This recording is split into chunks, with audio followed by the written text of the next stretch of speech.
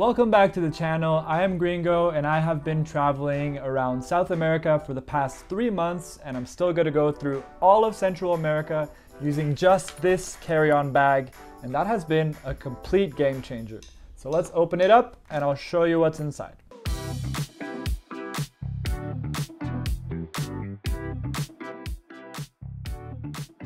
This has been my first trip with only carry-on luggage, so I thought it'd be cool to tell you a little about how that experience has been.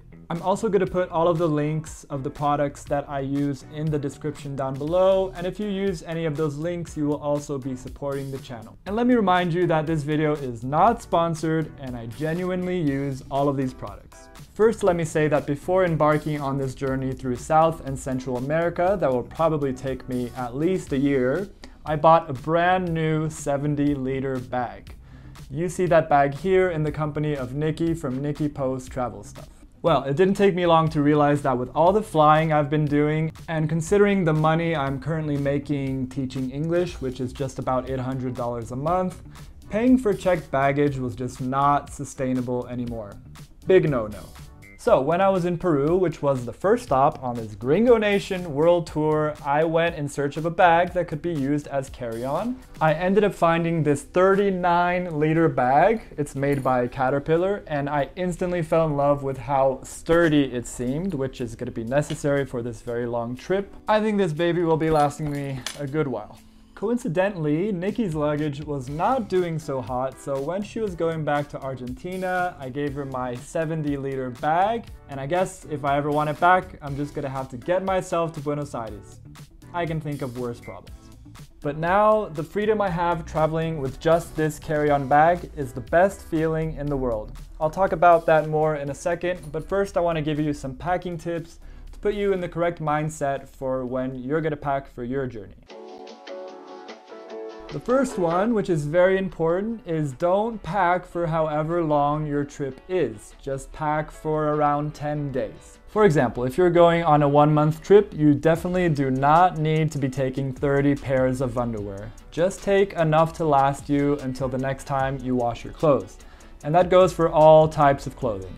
So just take a comfortable amount of clothes that will last you around 10 days, wear, wash, and repeat never fails. It's also important to remember that no matter how bored you may get of your own clothes, if you're going to be going to a different city every couple of weeks, the people you meet along the way are seeing your clothes for the first time. So they're always going to be a novelty somewhere. Tip number three, pack clothes that are easy to match. I actually tend to use a lot of black, so that matches with a lot of things. And as for my t-shirts, they're all pretty much solid colors with not a lot of writing on them, which makes them easy to match as well. Essentially, most of your items should match each other, and you should also strive to have items of clothes that cover multiple occasions. For example, these babies can be used on an afternoon run, but they also work very well for a night out. Now that I've got you in the right mindset for packing, let me show you what's in my bag. And let me remind you that I have needed to cover all sorts of climates on this trip. I was wearing multiple layers of clothes and even gloves on my hike to Machu Picchu. And in a week or so, I'm gonna be sipping on margaritas on the Colombian coast. The main takeaway from that is sometimes you just need to leave things behind. Now, if it's an item you really care about, you can always mail it back home to your family which is something I've done before and might do in the future during this trip. If you can live without it, just leave it behind and it may even be useful to someone else. Without further ado, for this voyage around the world, I have packed six t-shirts, two tank tops, two long sleeve shirts, three long sleeve dress shirts, three sweaters. So I currently have three pairs of pants. One of them is sweatpants, which are used pretty much every single day. I also have these pair of slacks that I will need to replace very soon because I ripped them on the butt. And I just have one pair of black jeans that I use on pretty much every occasion when I need to leave the house. One pair of swimmers has proven to be more than enough. Four pairs of shorts. So two of these are actually more for staying at home and two of them are more for going out. As I mentioned before, these guys I can use on a run, but I can also use them on a night out, pack versatile items. I have packed 10 pairs of underwear and one of them are actually long johns. Um, I don't think I'll be needing those much more in the future, so I might leave them behind at any given moment, leaving me with nine pairs of underwear. Underwear is definitely something I like to have a little more of because it can last me like 10 days until my next wash. I think I have quite an excessive uh, number of socks. I have 10 pairs of socks. I could easily do with like 7 or 8 or even less, but I guess I just like to have funky sock options. And lastly, one heavy duty rain jacket is extremely important uh, because you just never know what the world's gonna throw at you. I currently have two pairs of very old shoes. I should probably get new ones very soon. So these New Balances are more for like walking greater distances or even going for a run, and the slip-on Vans for a more comfortable vibe. And of course, don't forget your flip-flops for beach time. Apart from all of my clothes, I also travel with some clothing accessories, of course. So the first one, very important, is a belt. This is the only belt I have. I wear it with my black jeans every time I go out. And then I have some beanies. This one's more of a fashion statement, I suppose. And I got one in Peru. Shout out to Nick and Maria for getting me this one here.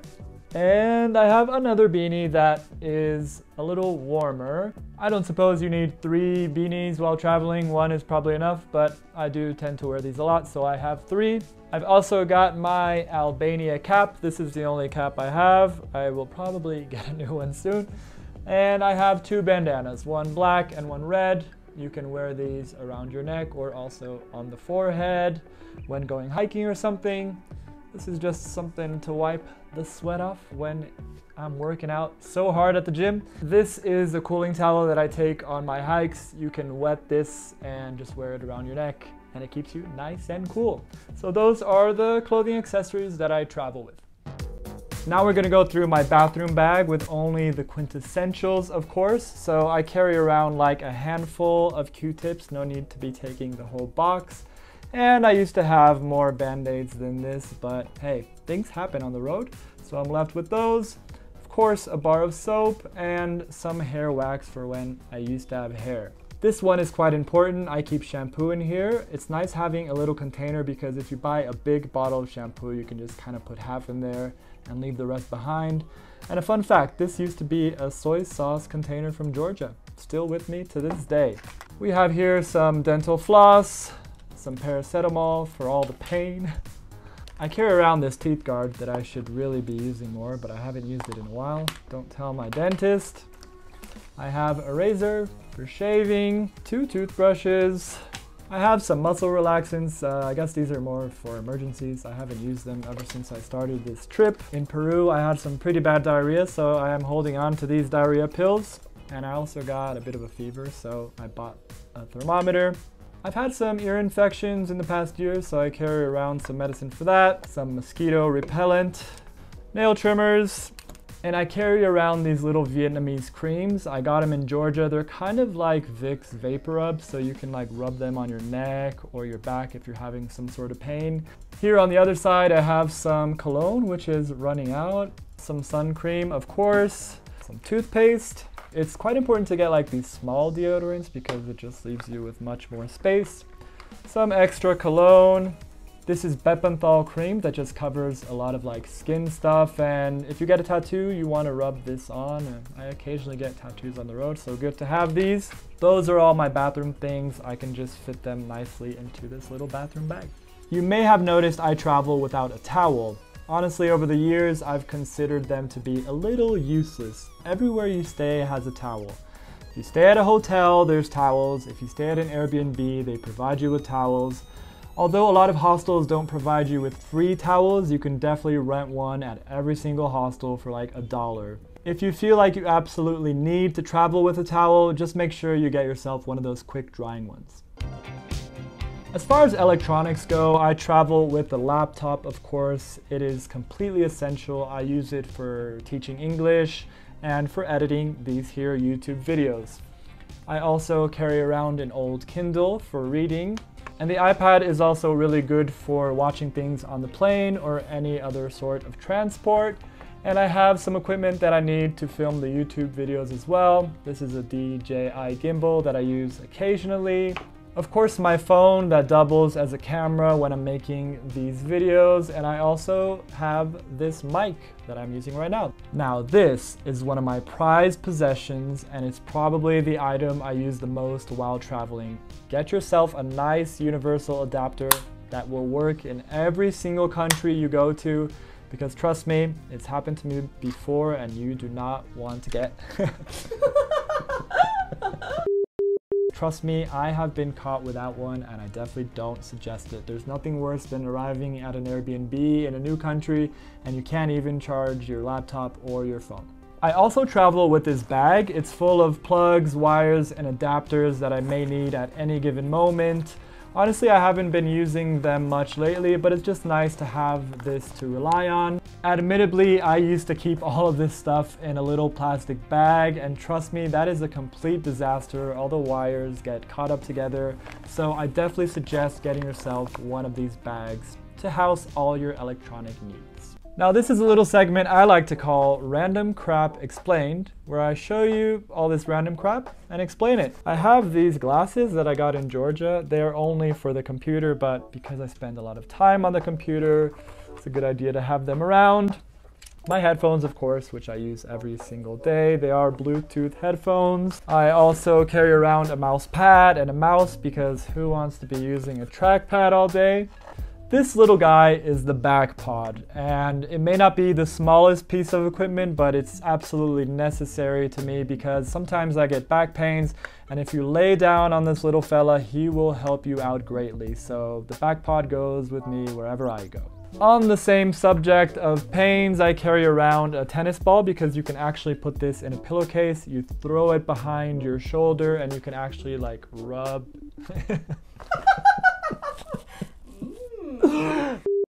Throw the pillowcase over your shoulder and you just lean on the ball and it kind of massages your back. And I have another massage ball that I like to use as well. I have here a compact jump rope for those days that you just don't leave the house but you feel like you still need to do some cardio. This is quite compact, easy to travel with. I have a little luggage scale so you can weigh your luggage and then you know if it's over 23 kilos or not for your flight. I don't have that problem anymore because I just use carry-ons and they're always going to be just about 10 kilos. Some headphones. I also have a portable charger for when my battery goes out and I'm taking photos and videos. This is very important, a wine opener, because let me tell you, a lot of Airbnbs do not have wine openers, and I myself do not want to be caught without one.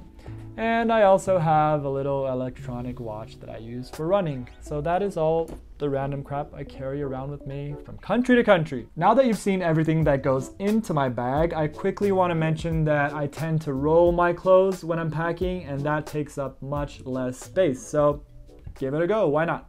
I cannot begin to explain how much liberty I have traveling the world with just this 39 liter carry-on backpack and another regular backpack. This one goes in the overhead compartment and this one under the seat in front of you. When you arrive at your final destination, there's no need to wait at baggage claim. You just stroll right on through to the exit with your two beautiful backpacks.